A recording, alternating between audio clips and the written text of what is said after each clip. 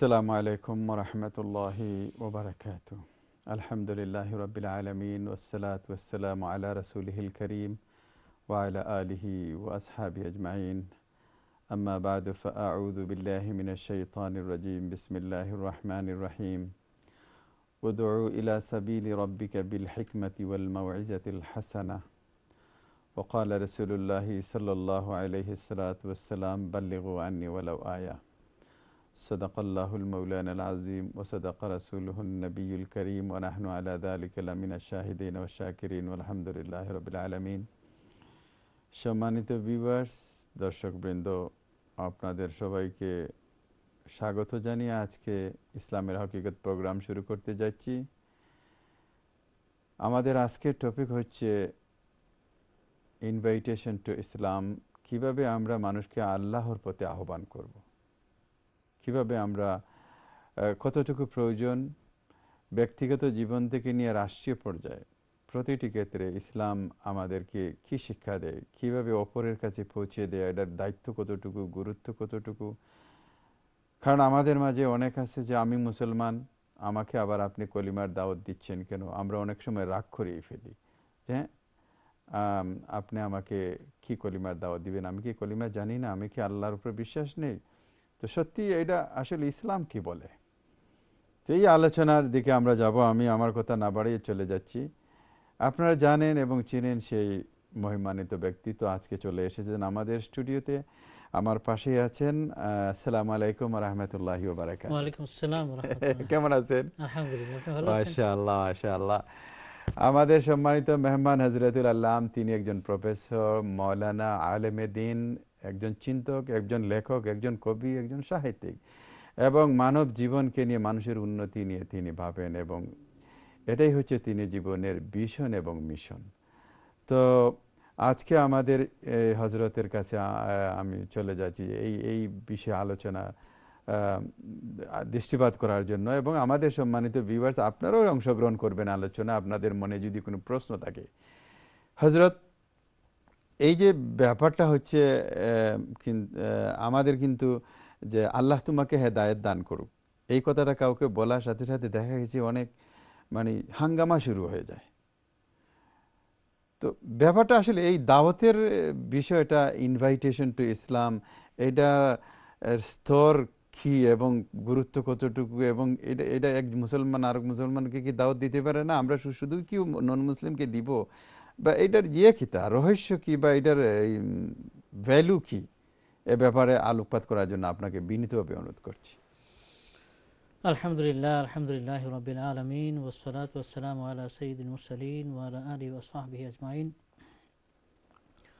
وقد قال الله تعالى في كلامه المجيد أعوذ بالله من الشيطان الرجيم بسم الله الرحمن الرحيم ومن أحسن قولا ممن دعا إلى الله وعمل صالحا وقال إنني من المسلمين صدق الله العظيم সম্মানিত শ্রোতা এবং দর্শক ভাই এবং বোনেরা আজকের যে বিষয় নির্ধারণ করা হয়েছে দাওয়াত ইলাল্লাহ বা দাওয়াত দিন ইসলামের প্রতি দাওয়াত বা আল্লাহর দিকে মানুষকে ডাকা তো প্রথমে আমি যে আয়াত তিলাওয়াত করেছি আল্লাহ রব্বুল আলমিন সে আয়াতের মধ্যে আল্লাহর পথে ডাকার যে গুরুত্ব মর্যাদা সেটা তিনি তুলে ধরেছেন। তিনি বলেছেন ওয়ামান আহসানু কাউলান তার কথার চেয়ে উত্তম কথা কার হতে পারে? যে দা ইলাল্লাহ যে মিম্মান দা ইলাল্লাহ যে আল্লাহর দিকে মানুষকে ডাকে। তো আল্লাহর দিকে যে মানুষকে ডাকে তার চেয়ে উত্তম কথা আর কারও হতে পারে না এটা আল্লাহ রব্বুল আলমিন সেই কথা বলছেন। সুতরাং আমরা যদি এই আয়াত থেকে মানে সর্বোত্তম কথা হচ্ছে আল্লাহর দিকে মানুষকে ডাকা।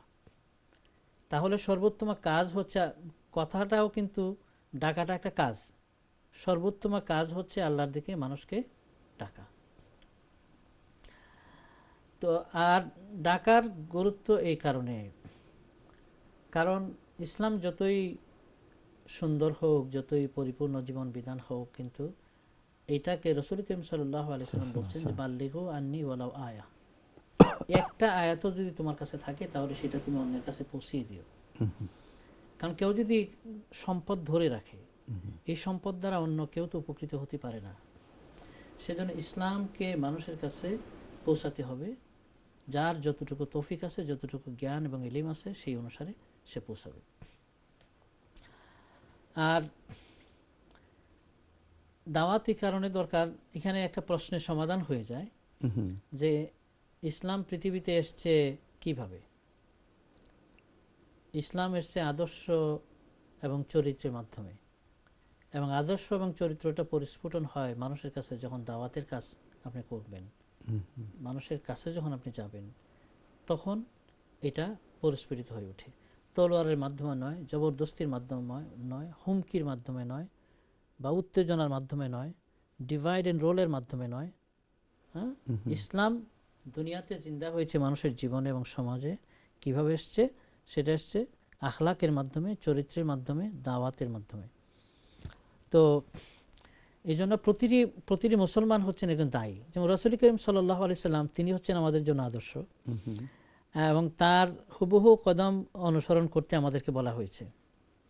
এবং রসুল পাক সাল্লাহ সাল্লামকে আল্লাহ রাবুল্লাহ আলমিন বলেন ওমা আরসাল্লাকা ইল্লা দায়ান ও মুবাশিরা ওয়া নাজিরা ইন্না আরসালনাকা দাইয়া ইন্না আরসালনাকা শাহিদান ওয়া মুবাশশিরান ওয়া নাজিরা ওয়া দাইয়ান ইলাল্লাহি বিইজনিহি ওয়া সিরাজাম মুনিরা। সুবহানাল্লাহ। রাসূল করিম সাল্লাল্লাহু আলাইহি সাল্লামকে আল্লাহ রাব্বুল আলামিন বলেন তোমাকে আমি সত্যের সাক্ষ্যদাতা হিসেবে প্রেরণ করেছি। ওয়া মুবাশশিরান মানুষকে সুসংবাদ দানের জন্য আমি পাঠিয়েছি বেহেশতের সাফল্যের কামিয়াবির। আর ওয়ানাজিরা এবং তাদেরকে সতর্ক করার জন্য আখেরাতের পরিণতি থেকে জাহান নামের পরিণতি থেকে হ্যাঁ এবং মন্দ কাজের পরিণতি সম্পর্কে তাদেরকে সতর্ক করার জন্য তোমাকে আমি দুনিয়া পাঠিয়েছি। আর বলছেন ওয়া দা ইয়ান ইলাল্লাহি বি ইজনিহি ও সিরাজমনিরা আর তোমাকে আমি পাঠিয়েছি দা ইয়ান ইলাল্লাহ আল্লাহর দিকে আহ্বানকারী রাসুল নিজে ছিলেন মানুষের দিকে আল্লাহর দিকে মানুষকে আহ্বানকারী সুতরাং আমরা যারা রাসুলকে অনুসরণ করব ফাত্তাবিউনি ওহিবুব কুমল্লাহ আল্লাহ রসুল বলেন যে তুমি তোমরা আমাকে অনুসরণ করো তাইলে আল্লাহর ভালোবাসা পাবে। তাহলে প্রতিটি সেই হিসেবে প্রত্যেকটা মুসলমান হচ্ছে একজন তাই দাওয়াতের কাজটা অনেকে মনে করেন যে এই কাজটা উলামাই কেরামের। বা এই কাজটা পীর বুজুর্গদের অথবা এই কাজটা তবলিক জমাতের। কিন্তু আসলে কিন্তু সেটা না। Each and every individual of the Muslim Umma R responsible for the দাওয়া প্রত্যেকেই হ্যাঁ যেমন আপনি যে প্রথমে কোরআনের আয়াত তিলাবাত করেছেন যে আয়াত তিলাবাত করলেন।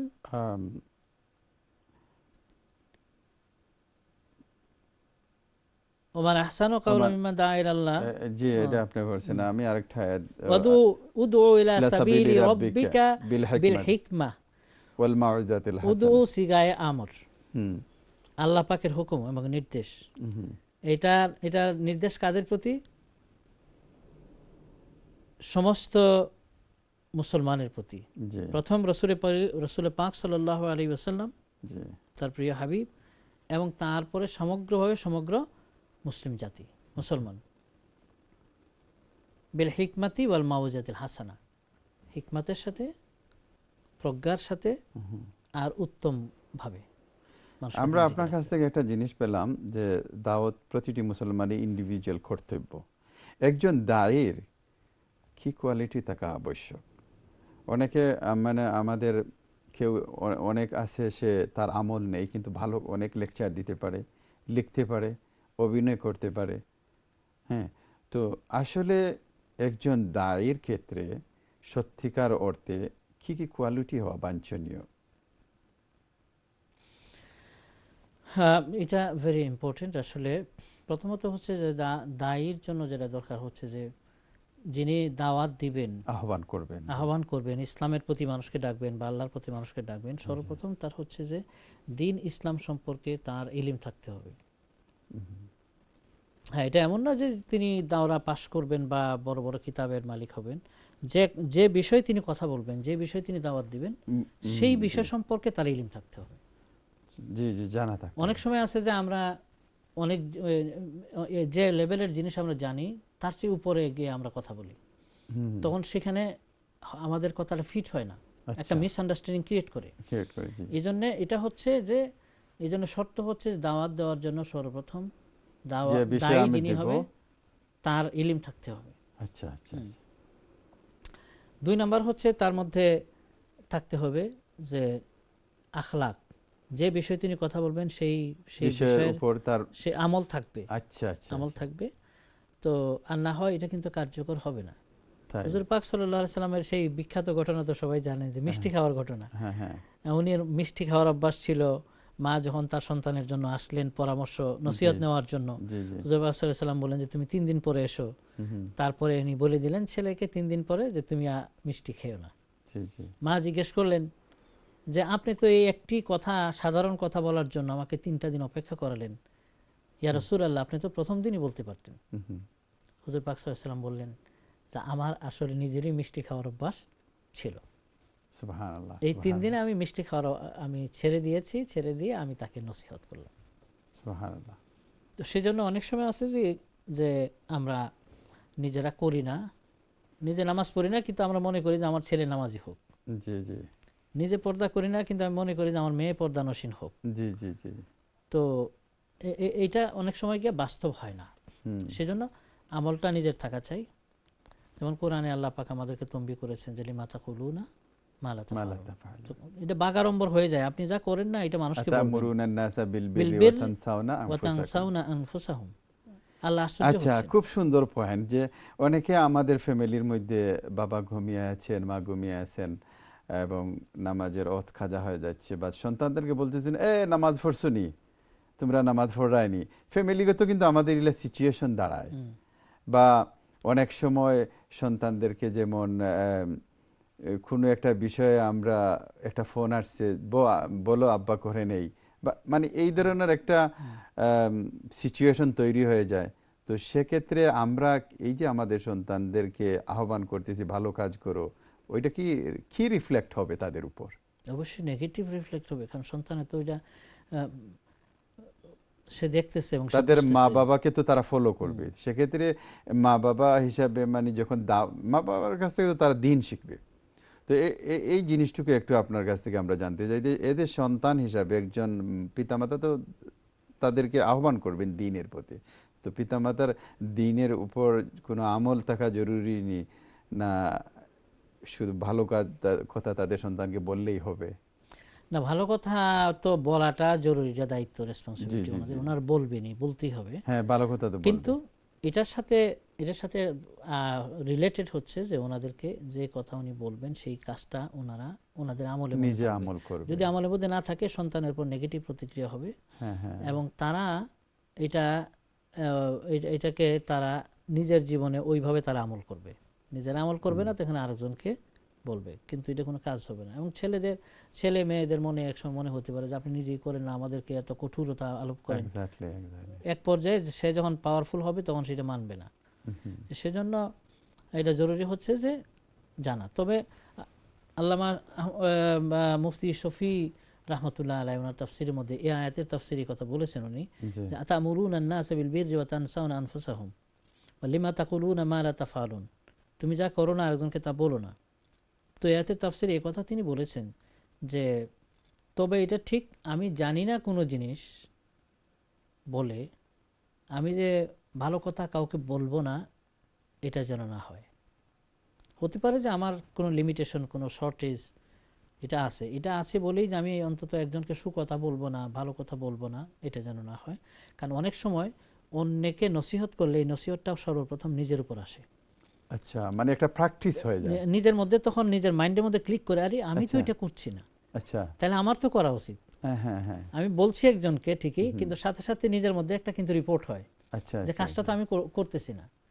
তো এই যে রিপোর্টিং বা নিজের মধ্যে যে একটা ওয়ার্নিং চলে আসে হ্যাঁ, হ্যাঁ। এটা উনি বলেছেন যে এই জন্য কারও যদি ইলমের কমতি থাকে অথবা আমলেরও কমতি থাকে সেই জন্য সুকথা ভালো কথা অন্যকে উপদেশ দেওয়ার চেয়ে সেই জন্য বিরত না থাকে। কারণ এই উপদেশটা সর্বপ্রথম তার মধ্যেই আসে। এক্স্যাক্টলি আপনার এই পয়েন্টটার একটা তাইদ বা সাপোর্টের একটা মানে সিচুয়েশন আমি বলতে চাচ্ছি যে যেমন তাবলিক জামাতে যারা তিন দিন, দশ দিন বা চল্লিশ দিনের জন্য যারা চান তখন দেখা যায় যে একজন স্কুল, কলেজ থেকে সাধারণ মানুষকে নিয়ে যাওয়া হয়েছে এবং তাকে বলা হয় যে তুমি দাঁড়াও। দাঁড়ানির পর এই যে ছয় উসুল আছে, ইমান বা আমলের একিনের কথা তুমি বলল, তখন সে নিজে লজ্জায় মরে যায় যে আমি কি করব? না তারা বলে না তোমাকে বলতে হবে। শেষে কি হয়? সে বলতে বলতে তার জীবনের উপর এইগুলার আমলের মানে এটা বিরাট তাসির তাসির পড়ে। মানে আপনার কথার উপরে আমার মনে হলো যে এই যে যে বলতে হবে ভালো কথা দিনের কথা। তবে এটা ঠিক ইলিম এবং আমল নিজের মধ্যে থাকা উচিত। থাকা উচিত জি জি। তবে এটা যেন কোনো পার্মানেন্ট বিষয় না হয় যে আমি কিছুই জানি না এটা যেন পার্মানেন্ট বিষয় না হয় যে আমার আমলের ত্রুটি আছে। হ্যাঁ হ্যাঁ। আমি নামাজে আমার ঘাটতি আছে নামাজের জামাতে ঘাটতি আছে এটা যেন পার্মানেন্ট না হয়। সাময়িক হতে পারে কিন্তু এই কারণে কেউ যেন কাউকে সৎ উপদেশ দেওয়া বা নসিহত করার চেয়ে যেন বিরত না থাকে। এটাই মুফতি আজম মুফতি শফি রহমতুল্লাহ আলাই ওনার আচ্ছা আচ্ছা। আচ্ছা এখানে আমরা আম, আমরা চলে আসি আমাদের ফ্যামিলির দিকেই যে বাবা মারা সন্তানকে দিনের দাওয়াত দিবেন। তো আমাদের সাধারণত ফ্যামিলিতে সবাই মনে করেন যে মসজিদে তারা দিন শিখে আসবে, কোনো বই পড়ে তারা দিন শিখে নিবে। তো এখানে পিতামাতা হিসাবে সন্তানকে রেগুলার বেসিস কোনো বৈঠক, কোনো আলোচনা বা কোনো থিঙ্কিং এইভাবে মানে দিনই ডিসকাশনের কোনো ব্যাপার স্যাপার গড়ে রেগুলার বেসিস কিছু করা যায় কিনা। আপনার অবশ্যই পরামর্শ? অবশ্যই। আসলে তো প্রথম পাঠশালা হচ্ছে মা এবং আচ্ছা। বাবা। আচ্ছা আচ্ছা আচ্ছা। মানুষের সন্তানের জীবনের প্রধান শিক্ষক হচ্ছেন মা এবং বাবা। জি। আর প্রধান বিশ্ববিদ্যালয় হচ্ছে তাদের ঘর আচ্ছা। তাদের পরিবার। স্কুল বা শিক্ষা প্রতিষ্ঠান যেটা করে সেটা হচ্ছে একটা কারিকুলাম তার মধ্যে একটা দেয়। এটা কিন্তু কমপ্লিট না। জাস্ট তার যে ভিতরের যে ক্যাপাসিটি আছে এটাকে জাগ্রত করার জন্য স্কুলে বা মাদ্রাসায় বা শিক্ষা প্রতিষ্ঠানে সেটা করা হয়। কিন্তু মেইন পড়াশোনাটা হবে তো ঘরেই। সেজন্য সকালে সন্ধ্যায় মা বাবার একটা রুটিন থাকা উচিত যে রুটিনের মাধ্যমে যে ওনারা সন্তানকে পড়ালেখার প্রতি বা তাদের আমল আখলাকের প্রতি। স্কুলে কয় ঘণ্টা থাকে? পাঁচ ঘণ্টা ছয় ঘণ্টা। বাকি সময় তো তাকে ঘরেই থাকতে হচ্ছে। বা মক্তব বৈকালিক মক্তব? বৈকালে মক্তব দুই ঘণ্টা। দুই ঘণ্টা মাত্র। তো ঘন্টাতে অনেক সময় আমরা দিয়ে মা বাবা যদি মনে করেন যে আসলে আমাদের দুই ঘণ্টার মধ্যে কোরআন হাদিস ফিকা তারপরে উসুল তারপরে সিরা আদব আখলাক এই সাত আটটা সাবজেক্ট দুই ঘণ্টার মধ্যে আমার ছেলে কমপ্লিট মুসলমান হয়ে সেখান থেকে আসবে। আলহামদুলিল্লাহ আমাদের ওলামাই কারাম চেষ্টা করছেন এবং আমি বলব যে বিগ অ্যাচিভমেন্ট হচ্ছে বৈকালিক মক্তব জেলা এই দেশে। কিন্তু এখানে কিন্তু বাবা মার প্রয়োজন আছে। বাবা মা যদি বাচ্চাদের লেখাপড়ার খবর নেন সবক কোনটা আছে সেটা দেখেন। হ্যাঁ? তো প্রতিদিনও যদি না পারেন সপ্তাহে একটা নির্দিষ্ট দিন এক দুই দিন যদি ওনারা সময় দিতে পারেন। মা তো প্রতিদিনই চাইলে পারেন। মার পক্ষে এটা প্রতিদিনই সম্ভব। বাবাও উনি ওনার যখন সময় আসবে সেইভাবে উনিও সময় এখানে দেবেন। এটা উচিত। কারণ মা বাবা যদি ইয়ে না করে তাইলে শিক্ষা প্রতিষ্ঠানে দিলাম একটা ক্লাসের মধ্যে তিরিশ জন ছাত্র থাকে। একজন উস্তাদ তিরিশ জন ছাত্রকে দুই ঘণ্টার মধ্যে তা ইন্ডিভিজুয়াল লেসন প্রত্যেককে নেওয়া এবং দেওয়া। It is very tough. কখনো হয়তো এমনও হতে পারে যে কারোর প্রতি পূর্ণ ফোকাস দেওয়া সম্ভব হয় নাই। বা এমনকি দেখা গেল যে তিন চার দিন পর্যন্ত তার প্রতি কমপ্লিট ফোকাসটা পড়ে নেই। তো এইটা এটা খুবই স্বাভাবিক। এইটার অ্যাকাউন্টেবিলিটি তাদের ঘরে হ্যাঁ, মানে থাকতে হবে ঘরে মা বাবা এই জিনিসটাকে কমপ্লিট করবেন। আচ্ছা এই পয়েন্টে আসি। এখন আমাদের কি হচ্ছে অনেক বাবা মা তারা হয়তো দুর্বিপাকে ভালো লেখাপড়া করতে পারেননি বা জানতে পারেননি।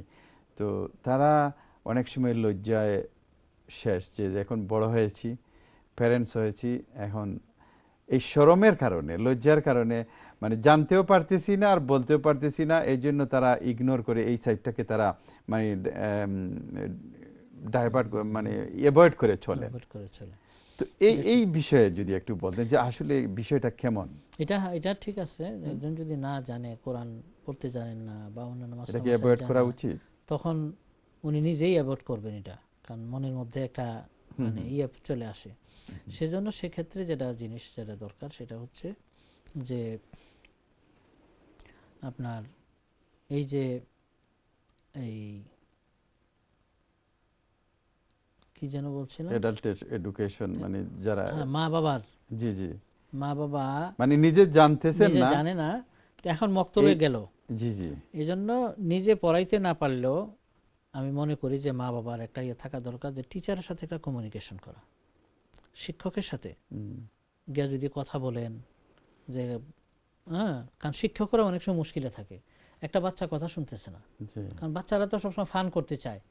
হ্যাঁ এবং কখনো কখনো তারা একটু ফাঁকি দিতে চায়। এটা বাচ্চারা ভালোবাসে। তো একটা বাচ্চা চাইলে খুব সহজে কিন্তু টিচারকে এক্সপ্লোর করতে পারে। ফাঁকি দিতে পারে। এবং বিভিন্ন আইন কানুনের যে অবস্থা এখানে বেশি কিছু করারও থাকে না। তাই না? তো এই সময় যদি মা বাবা যদি শিক্ষকের সাথে একটা কমিউনিকেশন রাখেন তাহলে টিচার তার চাহিদাটা মা বাবার কাছে বলতে পারে যে ঠিক আছে আপনি শুধু এতটুকু খেয়াল রাখবেন যাতে মক্তবে আসার সময় সে ব্যাগের মধ্যে করে সে কালারিং পেন্সিল নিয়ে আসে সে হয়তো টর্চ লাইট নিয়ে আসে সে মোবাইল নিয়ে আসে। এইগুলা নিয়ে আসে সেইগুলো নিয়ে খেলতে থাকে। আমার পয়েন্টটা হচ্ছে যে মানে এভাবে তিনি অ্যাভয়েড করে চলবেন বা নিজের সীমাবদ্ধতাকে ঢেকে রাখবেন নাকি উনার জন্য অ্যাডাল্ট এডুকেশন বা কিছু হ্যাঁ একটা ওইটা হইল সেকেন্ড টাইম বলছি। আচ্ছা আচ্ছা আচ্ছা সরি সরি সরি সেকেন্ডলি মা বাবার উচিত হচ্ছে যে আজকাল তো সেই সুযোগ আছে প্রচুর হিউজ সুযোগ আছে সেই সুযোগটা কাজে লাগানো। হ্যাঁ আপনি আপনার যদি কোরআন পড়ার ক্ষেত্রে ঘাটতি থাকে সেটা পূরণের জন্য আপনি স্থানীয় মসজিদে সাহায্য নিতে পারেন। হ্যাঁ তেলাওয়াতের সাহায্য নেন বা অন্যান্য ইসলামিক যে ইয়ে অনলাইনে আজকাল টিভিতে কোরআন সময় তেলাওয়াতের যদি আপনি নিজে অনলাইনেও যদি স্টাডি করতে চান তেলাওয়াত থেকে শুরু করে একদম হায়ার এডুকেশন পর্যন্ত আপনার আছে সেটা আপনি নিতে পারেন। তো আপনি যতটুকু জানবেন সেই জানাটা আপনার ফায়দা হবে আপনার ভবিষ্যৎ জেনারেশনের জন্য সেই ফায়দাটা হবে। মাশাআল্লাহ মাশাআল্লাহ। তো বেস্ট হচ্ছে অনলাইনে না করে। বেস্ট হচ্ছে যে নিজের লজ্জাকে ভেঙে মসজিদের স্থানীয় মসজিদের যে ইমাম জি জি। ওনার সহযোগিতা নেওয়া। হ্যাঁ এবং আমি মনে করি যে মোস্ট অফ দি ইমাম তারা নিজেরা ভলান্টারিলি এই ধরনের সহযোগিতা করতে বা কিছু সময় দিতে তারা রাজি আছেন। সবখানে এটা চাইলেই পারা যায়। এবং এটা নেওয়া উচিত প্রত্যেক মা বাবাকে আমি মনে করি এটা নেওয়া উচিত। জাজাকাল্লাহ একটি ব্রেকে যেতে হচ্ছে এবং তারপরে আরও ইম্পর্টেন্ট কিছু প্রশ্ন আছে এবং পর্যালোচনা আছে আমরা পরে নিয়ে আসব। সম্মানিত ভিউয়ার্স আপনারা আমাদের সাথে থাকুন ব্রেকের টাইম ব্রেকে চলে যাচ্ছি, আবারও ফিরে আসব, একটু পরে আসসালামু আলাইকুম রহমতুল্লাহি ওবরাকাত